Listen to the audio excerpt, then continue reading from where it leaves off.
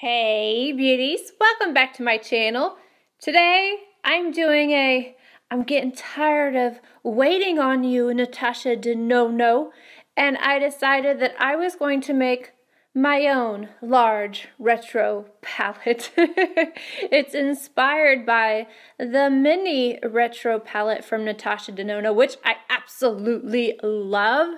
I love this palette so much and I keep begging and begging and begging to get a large version of like this color story. It just speaks to me on so many different levels. Well, I'm tired of waiting and not fully tired because um if she decides to come out with one, I'm going to buy it. I'm going to buy it. However, I thought that I would go ahead and just kind of play around and make my own. I've got stuff all over the top of my palette here. So let me get it out. I have created four, I think four. It could be five, but I think it's four, including this one here. I did some that are a little bit more dramatic. I did some that are a little softer. I went with green. I went with pink. I went with gray. I went with several different themes for these eye looks and I created a palette, or I guess I created a collection of singles by Sydney Grace. Now this was hard for me to do because I felt like I had like the perfect arrangement and then some shades weren't made anymore and I was like no and so I was I was really having to go through and make sure that the shades that I picked were in stock or would be restocked. I think there's only one shade in here that is still part of their line and they're constantly restocking so I felt comfortable putting it in here and I felt like it needed to be in here anyway. There's several other shades that would have made this just a little bit more perfect for me but I really love what I came up with. Are you guys ready to see it? I kind of sneak peeked it on Instagram and then I got so many messages like please please please make a video. So I did. This is what I have come up with. And again these are Sydney Grace singles all of them and you can find all of them on her website. I'm going to be showing you guys swatches of each of these in case you don't want all of these. It's basically I want to play with this type of color story and there's definitely some other textures I would like to incorporate if I were going to make this like my own thing but I think this is a pretty good starting ground and you just can't beat. You can't beat Sydney Grace. Metallics, mattes, her formula, I mean, they're up there with Pat McGrath, Natasha Denona, the best of the best. So, yeah. This is what I've come up with. I'm going to go ahead and show you guys all of the swatches of all these beautiful shades. And then we will get into some looks several looks. Again, I just wanted to play. I guess that a part of me like that wants to create something and put shades together was really just kind of coming together along with really wanting a bigger version of this and this is the outcome. So without further ado, let's get into swatches and I will tell you the names of all of these beauties. And in case you're wondering, this is just a Tarte magnetic palette. I love these because they come in all different kinds of uh, designs and textures. This one's leopard print and they have mirrors on the inside. I love that. I Love that. All right, all right. Let's get into the swatches. For the first row, I have Green Mist, Peyton's Puppy, Cadet, Honeydew, and Bravo. Then for the second row, Green Mango, Blush, Honesty, Keep It Fun, and Fairy Tale. Third row, Aim High, Moon Landing, San Jose, Relax, and Turtle Bay. And then lastly, Vanguard, Golden Rose, Commission, Rover, and Beyond. I thought this was the perfect mix of greens and those pinky tones, some a little bit of grunge in here, and a little subtle hint of dark brownish purple. I don't know. I really like the way that this came together. I'm in, I'm in love with it. I'm actually leaving it in this palette because I, I just want to keep it like this. I love it so much. If you decide to purchase anything, just know that I do have a discount code with them.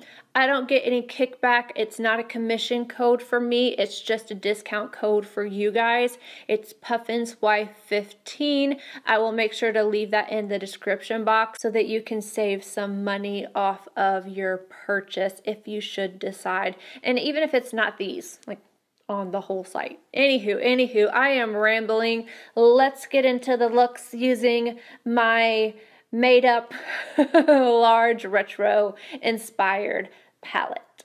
I'm going to start off with the Bristles Beauty EO2RL and the shade San Jose. I'm going to start applying that to the outer corner and then into the crease area.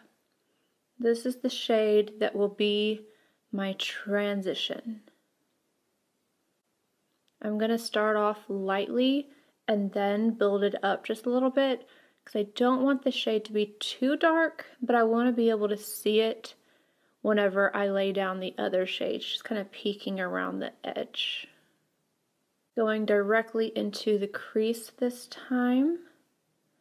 I did pick up some more product. Going to inner to outer corner. And I want to smoke it up more so on this outer edge.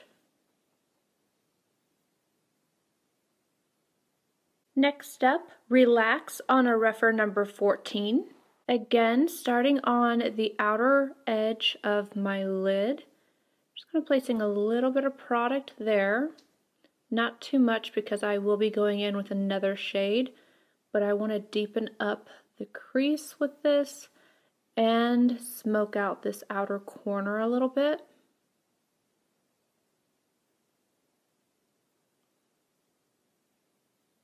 Making sure to go in circular motion so I get a really nice blend. And then when I go inward in the crease, I'm not going all the way to the very inner corner. I want most of the drama to be on the outer edge here. Same brush and Vanguard. This is just a little deeper and it has a little bit more of a green undertone to it. And I am going to be stamping this on the outer half of the lid. I'll bring it into the crease slightly, but not like I did the last shade. Commission on a Rephr 21. I'm going to place this right on the center of the lid and then tapping over just slightly the last shade bringing it up to my crease. I love Sydney Grace metallics. Oh, so, so good.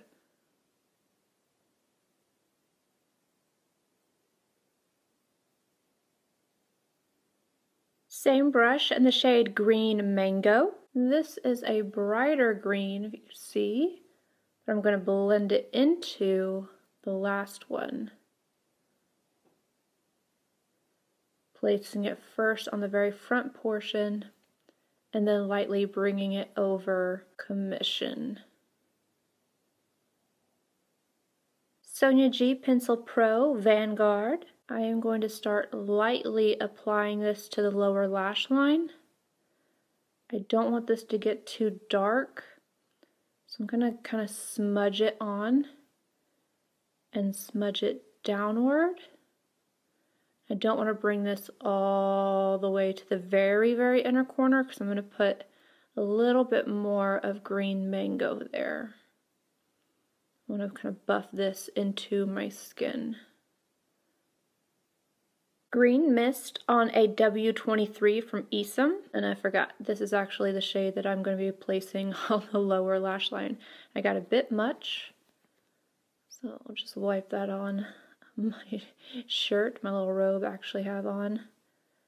And then I'm going to buff this onto my skin right underneath the brow arch.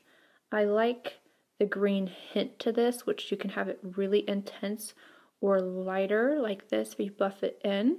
I'm going to put it on more intensely on the lower lash line inner corner, kind of dragging it over a little bit. Add some more over here. Ooh, I added too much. Wipe some of that away. Lastly, Rephr number three in the shade Beyond. I am lightly going to apply this right on the outer half of the lid on right up against my lashes. I will go add on inner rim liner and mascara and that will complete the look and I'm going to move on to the next eye look. For the next look, I'm going to start off with Peyton's Puppy on a Bristles Beauty EO2 RL. I'm going to go directly into the crease with this shade. And just a reminder, my lids are, are primed, but they are not set.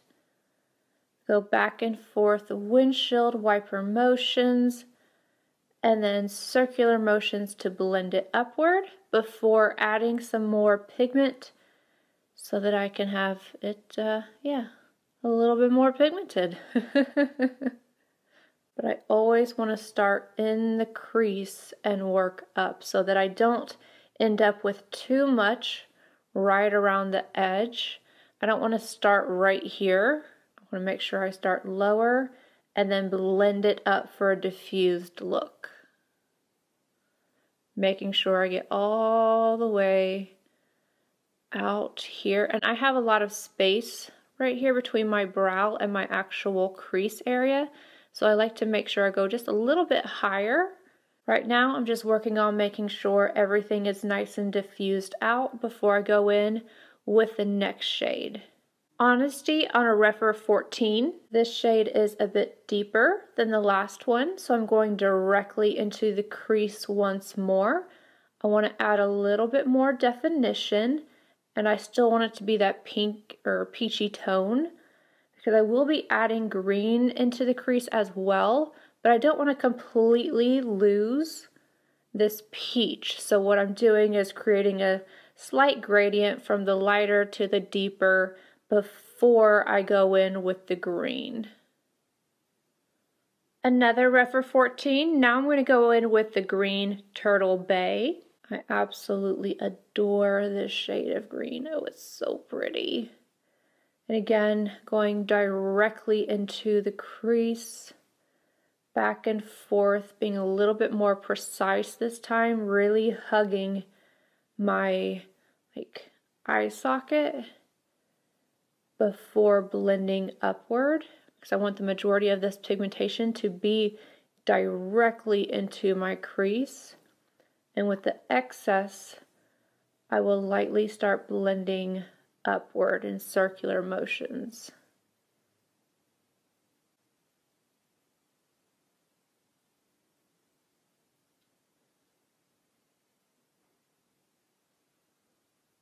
Be careful not to allow this shade to go up too high. Use very small circular motions when blending it out, or you can go lightly back and forth with a very light hand, barely touching the lid, and then using circular motions once some of the product is off your brush. You just don't want this to go too high and become more dramatic than you had intended. Keep it fun on a Rephr 21. There is just something so satisfying when the brush and the shadow rhymes. I'm applying this all over the lid. I'm not using it wet, I'm using it dry. But again, primer is not set. That was one dip into the shadow going in once more and I'm to kind of bring it up just slightly into the crease kind of tilt my head up so that I don't mind there being a little bit of a line with this look but I still want to go just slightly up into the crease. Honesty on a Rephr number three. I'm applying this all underneath my lower lash line, kind of smoking it downward just a little bit Going back in with Turtle Bay on a MAC 212, I'm going to stamp this right up against my lower lashes. I want to be a little bit more precise with this than I was with the last shade. On an Eesome W23, I'm taking Aim High. Careful because this is pigmented. I picked up a small amount and still super pigmented, so just be careful. You can blend it out with your finger if you need to. But I like the pink undertone to this one. And you could use green mist as well if you wanted to stick more with that green scheme, like on the lid, like I did with the last look. Bristles Beauty P06 RF shade and placing it on the inner corner. Lastly, I'm going to take Bravo on a Rephr number 23 and I'm going to work this right up against my top lash line. I don't want this to be too intense, too thick. I want it to be subtle, but give me a little extra something something at my lash line before I go add on inner rim liner and mascara. Moving on to look number three, I'm going in with Moon Landing on a Bristles Beauty EO2 RL. I'm going to be creating a quick, all matte, just halo eye. So I'm starting on the lower lid. No prime primer, I have primer, I just didn't set it. After I get it laid down on the lower half, I'm going to start blending upward.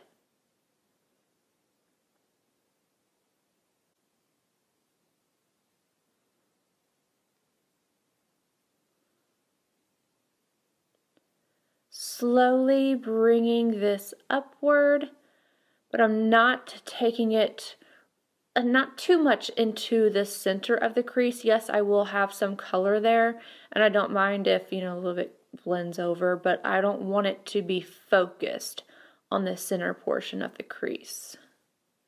Next, I'm going to tap it on the inner corner with my brush laid flat. And then start blending this upward, just like I did on the outer half. Just not up quite as high. I'll be working back and forth and clean up with a sponge as you need to, like if you go down just a little bit too far. I love cleaning up with a sponge. Sometimes I show it on camera, sometimes I do not. Same color on a Bristles Beauty pencil brush and I am smudging this all along the lower lash line. Rephr number 14, now I'm going to go in with the shade Relax and I'm going to deepen up the outer corner.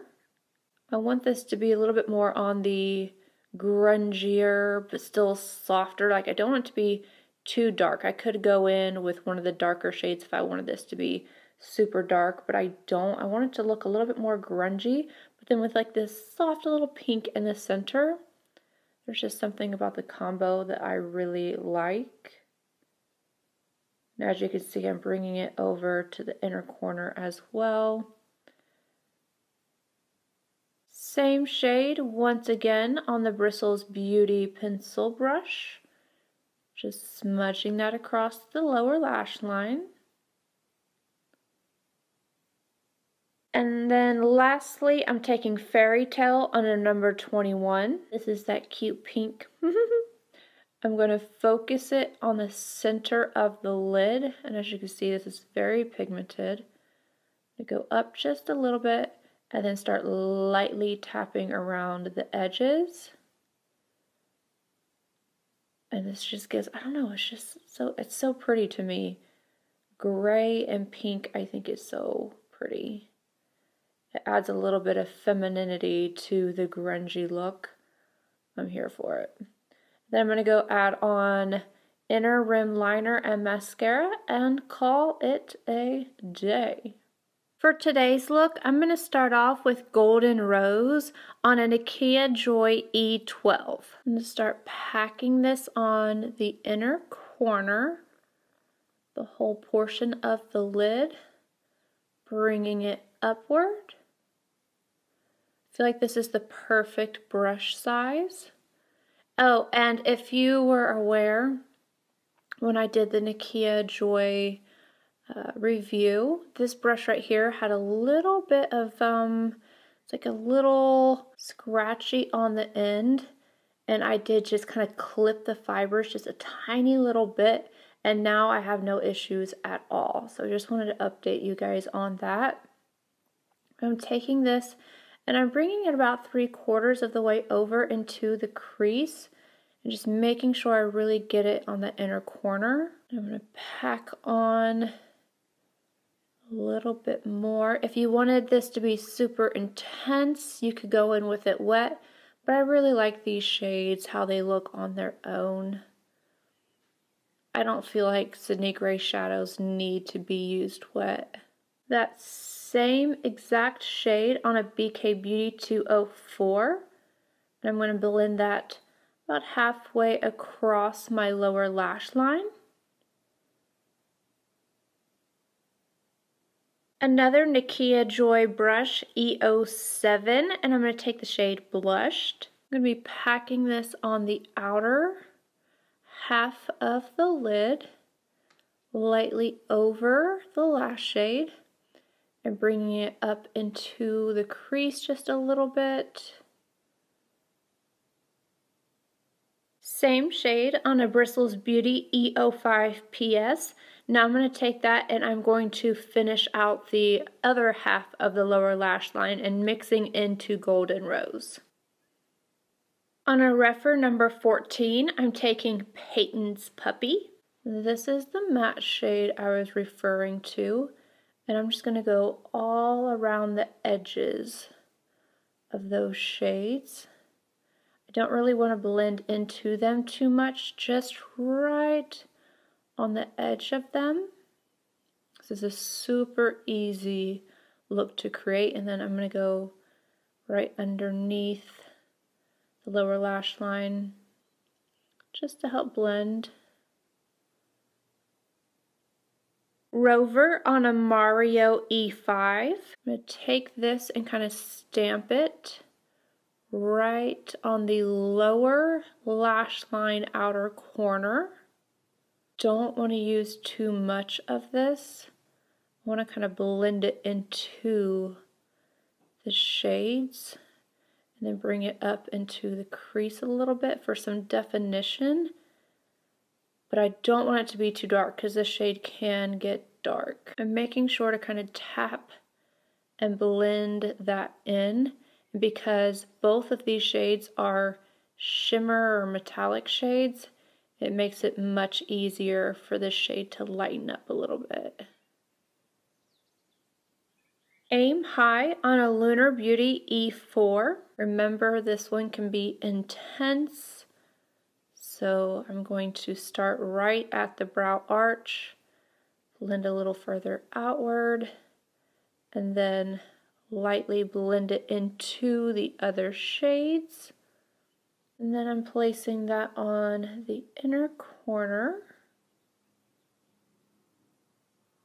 And I will advise you to look away because I'm going to go ahead and put my inner rim liner on my top and lower lashes, just in case you don't like to see that. I have reverted back to my Marc Jacobs Blacquer.